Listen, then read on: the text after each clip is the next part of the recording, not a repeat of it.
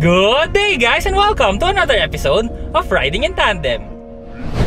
RID, riding in tandem, RID. With me, RM. And me, Elaine! And me, Kako! Tama yun mga tandem, hindi kayo namamalikmata dahil kahit kami, hindi kami makapaniwala na meron tayong kasamang celebrity ngayon from Autodeal. None other than Sir Kako Tirona. Sino ka dyan? welcome, Sir Kako. Welcome. Sandali lang, akala ko auto deal to.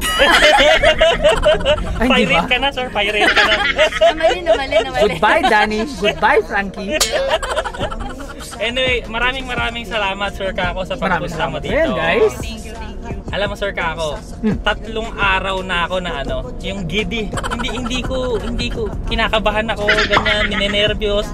Parang tatlong araw na Alam mo, akong- kung yung kung misis ko, ganyan nakaganda Oh. rin. Hindi nervous rin naman ako, di ba? Siyempre. Hindi, hindi nervous talaga kaming makasama ka kasi parang kako tirona, di ba? Pag namimili ka ng sasakyan sa Pilipinas, imposibleng hindi mo makilala si Kako Tirona. Imposible. Wow, sobra naman. Tama na yan. Stop! Don't! Stop! Don't stop! Don't stop. Eh, sir, ay sir Kako, ito muna. Um, saan ba nila kayo makikita sa lahat ng platforms nyo? Isabihin muna natin sa kanila. Well, uh, una muna is obviously sa uh, YouTube channel. Uh, katulad ng Riding in Tandem, may sarili kayong YouTube channel. Ang Auto Deal rin, may sarili kaming YouTube channel. Uh, meron rin kaming social media pages on Facebook and Instagram. But primarily ako, lumalabas ako sa talaga sa YouTube channel namin. Kung katulad sa inyo, nagre-review lang ng mga kotse sa, para sa lahat ng mga consumers dyan. Yan, okay. At saka huwag nyo rin kalimutan, meron din silang website, autodeal.com.ph. Oo nga, ano. Parang ito ata pupunta na ako. Eh, syempre, kabisado ko, idol ko yan eh. May website rin pala kami, no? Siyempre, pinupuntahan kasi namin yun. At saka para sa mga nanonood kasing mga katandem, lahat ng mga car review videos namin, nasa description sa baba, meron kaming nationwide sales link papunta ng Autodeal yun. So, yun That's yun. true. At gusto ko sabihin na maraming maraming salamat para sa inyong dalawa na lahat ng mga links to, to, to the cars ay pumupunta rin sa Auto Deal. Oo. So mula sa buong Auto Deal family, maraming maraming salamat. po. Yun, oh, salamat Wala din. Tulungan lang tayo, tulungan. Oo. Of course. Yun, no? At ito na nga, punta na tayo sa episode natin today. Grabe yung intro na to. sa episode natin ngayon, pag-uusapan ba natin kung ano ba ang mas maganda, gas ba or diesel? Ano ba yung pipiliin nyo? O yan, meron tayong expert na kasama. Oo, oo. Magtatanong tayo sa expert. So, simulan na siguro natin sa usapang horsepower. Okay, Okay. horsepower. Um, sa tingin ko, obviously mas mataas ang horsepower ng gasoline. Oo. Right? And uh, the definition of horsepower is kung gaano kabilis mo pwede gawin ang isang bagay. Oo. Right? So, ang ang speed ng ng gasoline obviously mas lamang Oo. kaysa sa sa diesel. Pagdating naman sa torque, Oo. iba naman. Yung torque is the amount of work that the engine can do, Oo. not yung speed of the the work, 'di ba? So, Oo. yung diesel since um, ikaw mismo in in your own words sinabi mo na mas marami siyang potential na pwede ilabas, 'di ba? Oo. Ikaw yung nagsabi nun. Oo. Um, mas maraming parang work na nagagawa ng diesel hence mas mataas yung torque niya. Mm. So those are the very two differences of of um, of gas versus diesel. And then well, dahil sa nangyayari na 'yon, to, sobrang iba na talaga yung presyo ng gasolina, sobrang nga yung eh. presyo ng, ng diesel. Ito nga, ah, Yan, tingnan natin. tingnan natin magkano na ba to? Oh my God, sakto to ha. Diba? 75, 73. 75 ang diesel, Diesel. 73, actually 72 Sev- lang, 72.56 ang extra advance. 77 yung diesel. Nako, 5 piso.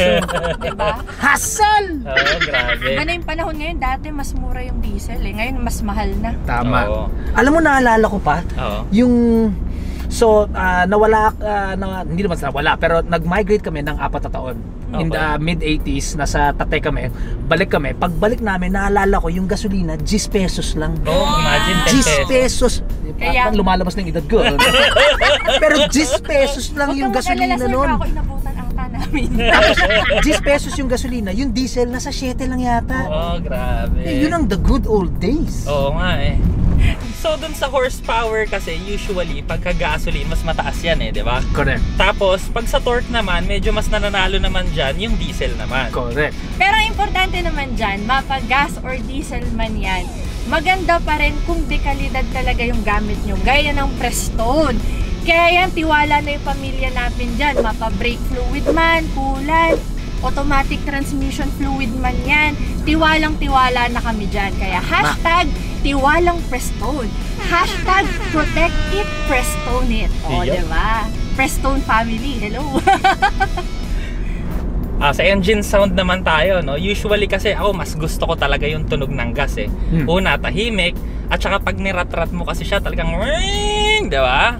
Pero pag diesel kasi, medyo ano kasi siya, eh, low yung RPM kasi niya. So, wala siyang top end eh. Kaya, medyo mas maingay ng konti yung diesel. At saka, yun nga, hindi siya kasing saya ng tunog ng gasolina. Tama. Oh, yun. Tama, believe ko rin 'yun. Um, yun rin ang ang feeling ko. Yung yung tunog ng ng ah, ng gasoline engine.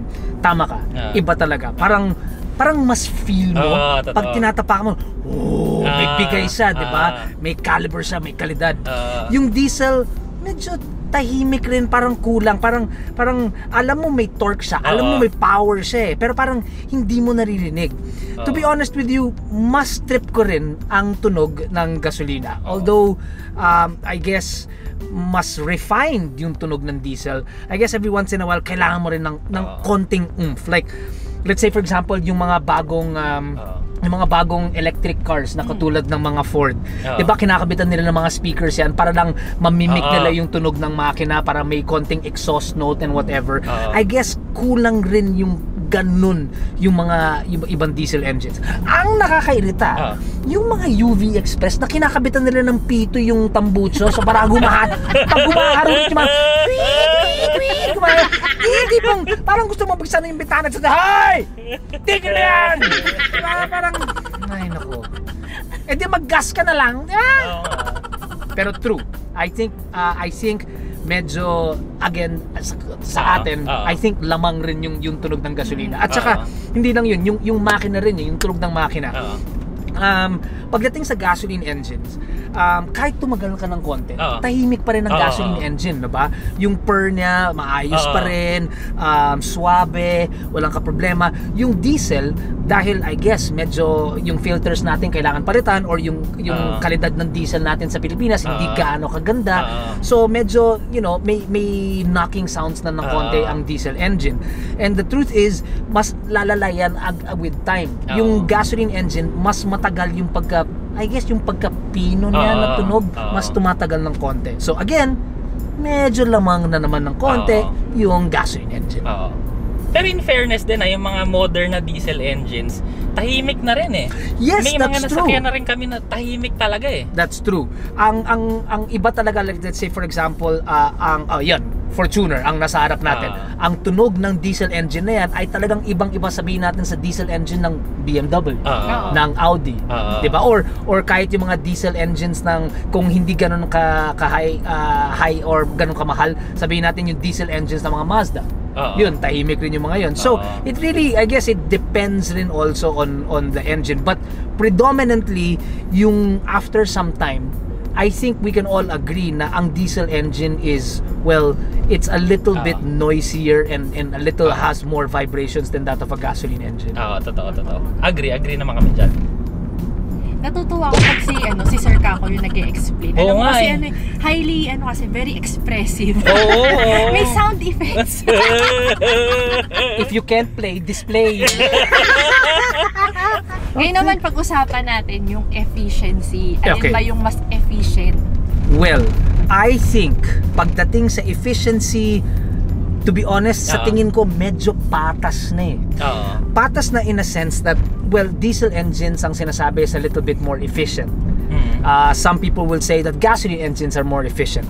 Pero sa panahon na yun, sa technology na lumalabas, ang mga makina na yun ay yun ang laro na nila na yun. eh. Oo. To get as much power or torque or, or horsepower, whatever it may be, from a single drop Oo. of fuel to be able to push your car or pull your car along for as long Oo. as possible. So, sa tingin ko, halos kaparehas na. May mga diesel Oo. engine dyan na pwede sabihin mo sa highway nasa 20. Oo. 20 kilometers per liter.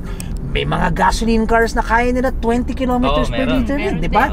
Depende rin naman sa makina yan. Of course, iiba yung, let's say for example, yung kaya isakay sa diesel engine or kaya sakay sa gasoline engine and then all of a sudden, your mileage will differentiate, or your, your, your, um, your kilometers per, per liter will different, uh, will be different. Pero, I think, in terms of efficiency, I don't know, para sa akin, halos magkaparehas lang. Except Oo. siguro yung mga motor na yan. Yung super efficient yung mga yan, di ba? Hindi rin. mga yan. Depende rin kung 1,000 cc. That's true. Depende rin kung four, kung four cylinder at four Oo, stroke, di ba? depende, So, tama. So may mga Honda, mer meron kami kilala na yung yung motor niya ah, 16 kilometers per liter. Motor na 'yun, pero may mga Suzuki diyan na sumuabot ng 20 kilometers per liter. so Oo, mas kaya. okay pa sila. Kaya. Pero I guess efficiency wise in in all honesty ang ah, I'll, Oo. I'll ask your opinion. My opinion is halos kapantas na sila, kapantay. Okay. Kayo, anong ano yung feeling niyo when it comes to diesel and gasoline? Sa amin kasi, yung dati, ah may sasakyan kami Strada, tsaka Hmm. meron kaming Honda City. Okay. So, kumbaga, kung kunwari per peso yung usapan kasi, parang sa Strada, yung 500 pesos ko, mas malayo yung nararating kaysa sa 500 pesos ko sa gas. So, yun yung ano, per peso yung usapan. Per peso. Oo, per peso. So, lahat lahat na yun. Kaya, kasi syempre, yung fuel efficiency, ano rin yan eh, depende rin sa pagdadrive mo, depende rin sa driving conditions. Pero, sa experience namin, yung 500 ko, mas malayo talaga yung nararating sa diesel. Mura pa yung diesel noon. Mura pa yung diesel. Mura nun. pa yung diesel noon. ano per kung, kung pero per peso siya hindi Per siya peso, per peso. hindi siya cost Hindi siya per liter yung per liter usapan. okay Per peso. per peso Kumbaga, yung 500 pesos ko, mas malayo yung inaabot ng Strada 2.5 namin kaysa sa 500 ko sa Honda City. Gaano kabigat naman yung mga sakay nyo sa Honda City exact the same exact same weight Yun ang hindi ko alam. kasi Hindi yung Honda City mo is a 1.5 liter alam. 1.3 nun eh. 1.3 Oo. yung Strada mo is a 2.4 2.5. o 2.5 Oo. so that means na kahit gaano kabigat yung sakay ng Strada mo pareho pa rin ang takbo niya. Yung Honda City mo will be efficient if less people are inside the car. Kung Oo. mabigat yung yung sakay mo, then mas maba, mas konti yung per peso ang ano mo. Oo. So pero if it's down to per peso like sabi Oh, mo, per peso lang then talaga. yeah, Oo. I'll, I'll give it to the Honda City. Depende rin siguro kasi ano ko eh, mahataw kasi ko eh. Hmm, So okay. yung 1.3 kasi kulang din siguro sa akin sa power. I guess. Siguro. Kung sinasakal mo siya, mas malakas Oo, siya sakal kumain. talaga. Okay, sa maintenance naman, tatanggalin na natin lahat ha. So ang ititira ko na lang, langis. Okay. So ganun lang naman, sa langis, syempre sa gasolina, usually 4 liters. Pero pagka diesel, mas malaki talaga, mas maraming laman. So mga 8 liters, mga ganun. So Sir Kako, ano naman ang ano mo? Syempre hindi lang naman oil ang maintenance eh. True. Alam mo, lahat ng mga kotse naman may sariling Oo. cost yan eh Oo. for maintenance, 'di ba? Um, kung hindi maintenance uh, for the car then it's preventive maintenance para Oo. hindi ka umabot doon.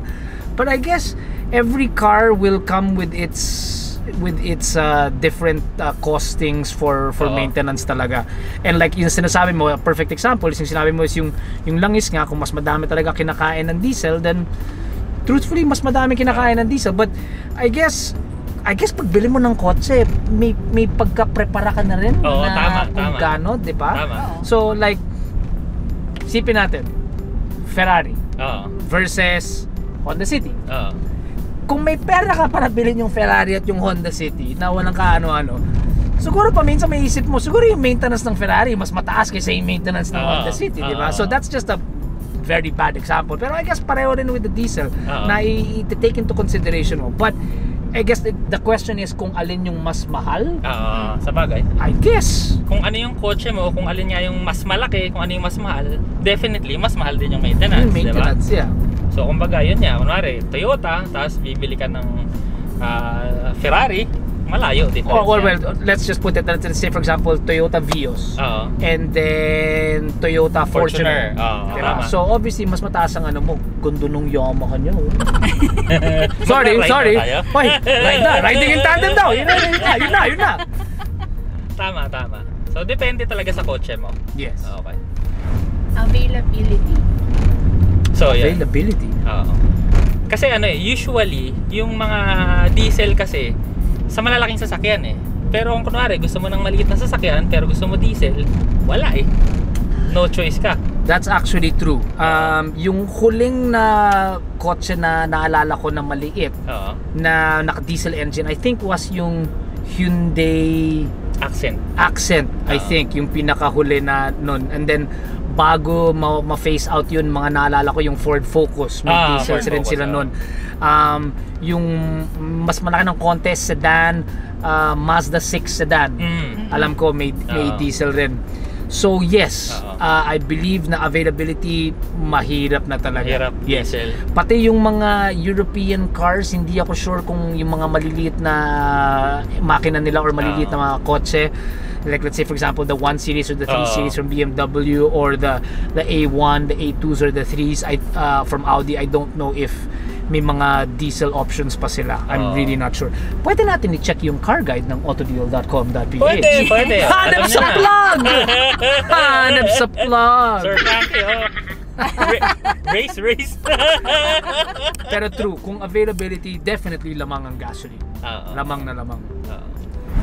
So yun, dumaan na tayo ng gas station, no? Mm. Yung usapan ngayon, yung gasolina, ikot tayo ulit. Okay. Pero kanina magkano yun? 5 pesos, di ba? 75, Tapos, Seven, the 77 yung Ayun. nakita mo, no? 77, 72. Yun. Yun. So we're talking about 5 Five pesos. Alam mo yung 5 pesos, balewala yan pagdating sa let's say for example, isang buong full tank. Oo. 'Di ba? Pero after a while, Mm. Masakit na yan. Siguro pagdating sa second, third, fourth, and then yung infinite full tank mo, mararamdaman mo rin yan. Oo. Lalo na kung, let's say, yung, yung cost of living rin, tataas rin yan Oo. dahil sa ta- presyo ng gasolina. Ah, yung sweldo mo, hindi naman umaakit. Pareho pa rin yan. Ah, Hanggas, tama. unless, let's say, for example, makabigyan ka ng raise. Hinting to Danny and Frankie. Pero, di ba, kung, kung hindi umakit yung, yung, yung pagpasok ng pera, dahil padeplete ng padeplete yung Ah. savings mo. So currently, it was, I think, lamang yung diesel dati, plain to see. Lamang yung diesel dati, pero now, hindi na. Lamang na ang Medyo- gasolina. Oo. Di ba? Wala Oo. tayong magagawa. So Sir Kako, ngayon, kung mamimili ka ng sasakyan, ano ang mas pipiliin mo ngayon? Diesel o gas? Truth is, that's actually the perfect question para sa atin tatlo. Oo. As a family, your family car is the Mitsubishi Expander. Mm. As a family, yung family car namin is um, Mitsubishi Montero. Ah, silver yung kotse nyo, silver rin yung kotse namin. may tint yung kotse nyo, may tint rin yung kotse namin. Ah. similarities I see Ah. here. Pero um to be truth be told, Ah. sa umpisa pa lang ah, yun na yung unang-unang pinag-uusapan namin ni Lisa. Oo. Kung kukuha kami ng diesel engine at 7-seater Oo. or kukuha kami ng gasoline engine na 5-seater. Oo. And at that time, bang for the buck. So 2018 yata. Mm. Ang ang napakuha nakuha namin is obviously yung yung Montero namin. Mm. But yung first choice ko Mm. at saka yung first choice pa rin ni Lisa would have been really a gasoline engine Oo. for many reasons because it's mas quiet sa talaga yung Mm. pinag-usapan natin it's quieter um, it, it, it feels cleaner when you drive di ba parang mas magaang yung feeling pag minamaneho mo ang, ang gasoline engine parang yung diesel engine may may, may feel ka na, na tangke. 'di ba? Pero the the the upside naman of driving a diesel vehicle is that yung yung yung feeling mo na tangke, may pagka-security ka rin in, a, in a diesel Oo. engine, 'di ba? But the bottom line, personal Oo. preference is I'm happy, completely happy with our diesel Montero, completely happy. But I think uh, I would have chosen pa rin uh, if I could um, gasoline engine pa rin. Uh, I don't I don't hindi ako magsisinungaling na sabi na talagang mahal na mahal ko yung diesel. Oo. No, gasoline engine. Um, e- even if na um, kaparehas pa rin ng dati na mas mahal pa rin yung gasolina na yung kaysa sa diesel I think I would have still really preferred preferred a Oo. diesel pero I think uh, financially and Oo. pocket wise for the for the past 3 years or. 4 years na nasa amin yung yung Montero happy naman kami wala namang Oo. problema kasi mas mura nga yung diesel at that Oo. time na yun ayoko na Hindi ko alam kung pipililan ko siya. kung ano ba, ano ba? So sa amin kasi yung initial cost talaga yung ano eh, yung mabigat sa amin eh. Kumbaga, kung budget mo talaga mas mababa. So wala wala kang choice eh, talagang Yes. gas eh. Yeah. Kasi yun yung mabigat doon eh. Yung, yung pag kumuha kasi ng diesel, yung initial na ano eh. Ang bigat, di ba? Mas mahal talaga Correct. usually pag diesel eh. Yung unit ang mas mahal yung unit talaga. mas mahal Yeah, talaga. correct. Oo. So, pag gas, mas mura talaga yung unit. Eh, para sa amin, yun nga. Eh, mas gusto namin yung mas mura. Tsaka mas tahimik na rin. Kasi Oo. kadalasan ngayon kasama namin yung mommy at daddy niya. So, Correct. Mga senior citizen. Correct. Gusto nila talaga tahimik. Correct. Nakakatulog sila sa daan. Mm. Tama. Yes. Yes. And then, hindi ba, kung isipin natin, mas marami naman mga um, gasoline engines na malalaking kotse na mas smooth yung ride, di ba? Mm. Let's say for example, the Patrol, Mm. which is bad example kasi 3 kil- mahal na mahal ko yung kotse na yun, grabe, 3 kilometers per liter. Ang saya nun! Pag start mo pa lang ng makina, boy, 20 pesos. Ang saya ng kotse na yun. Pero again, napakalaking kotse, pero dahil sa ah, gasoline engine, Oo. Ang smooth ng ride niya. Oo. 'Di ba? Kung Komportable. hindi ko pa nasasakyan yung um, bagong Land Cruiser Oo. ng Toyota because alam ko diesel yun, 'di ba? Oo. may 6 yun tsaka may 8 Oo. yun. Yung Patrol, de 8 lang na gasolina. Oo. So, hindi ko pa alam kung gaano ka smooth pero I doubt na if let's say for example in 3 or 4 years time kung Ganun yung diesel engine ng ah, ng Toyota or ng rather ng ah, Land Cruiser Oo. kung kasin smooth ah, kasin smooth siya ng ng patrol na na gasoline Oo. engine. So, Okay, no? Ngayon mga katandem, alam nyo na ang say namin ni Idol Kako. Diyos ko, sana nag-enjoy kayo sa video namin. Ay, tsaka syempre, salamat muna ulit Sir Kako sa pagpunta mo. Diyos ko, ang layo ng pinuntahan. Nagpunta pa ng, ano ba to, Cavite na ba to? Alabang? Ano, ano pa rin to? Uh, Ano yeah, ba? Bako or to, Bako or. lungsod ng Bako. ah, Saan niyo ako dinadala? Diyos ko! Paano na tayo? Sakla! Saklala! Saklala! Kita nyo? Only on RIT Tagalog, si Sir Kako. Tinitingnan tayo. Baka sabi kinikindap na. Ayun. Kaya salamat, salamat Sir Kako sa pagsama namin. Thank It's you, our thank you, honor thank you. Na sumama kayo sa amin. Maraming Maraming, maraming, maraming salamat, salamat. salamat, Thank you, Salamat, thank you, salamat, thank you, Sir salamat. Kako. Naku, parang dream come true to Oo. sa akin. Grabe. Totoo yun ha, tatlong araw talaga akong ano, yung talagang kinakabahan na hindi mapakali. Kagabi hindi kami makatulog. Oo, daig pa yung, kunwari yung crush mo na makikita mo nung high school, daig pa yung feeling ko ngayon eh. Oo. Grabe. Big pa yung feeling nung ano eh, nung magbo-board exam kami na ano eh, parang hindi ka makakain. Basta ganun, ganun na ganun yung feeling, parang ano, parang nasusuka na hindi. So basically, ang sinasabi nyo, pinag-iisip, pag, pag pinag-iisipan nyo ako, napapasok ka kayo. ha? Sel. sobrang ano lang kami, sobrang excited kami, Oo. sobrang tuwan-tuwa kami na finally Oo. makakasama namin sa isang video yung isa sa mga idols namin Oo. sa ano auto auto industry. Yan. Maraming salamat rin sa inyong dalawa. Thank you to all the people out there that are watching. Ah, kung nanonood kayo sa YouTube channel, obviously, ng Riding in Tandem, please don't forget to like and subscribe the channel kasi yung pag-like and subscribe nyo, nakakatulong yan sa paggagawa ng even more videos like this para sa inyo. At kung may panahon rin po kayo, puntahan rin po kayo sa Auto Deal uh, YouTube channel namin. Like and subscribe na rin po kayo. Maraming maraming salamat. See you soon! IT, riding in tandem, RIT, riding in tandem, RIT, riding in tandem, siksik informasyon mula kay Armin at Elaine, RIT, riding in tandem, RIT, riding in tandem, RIT, riding in tandem, siksik informasyon mula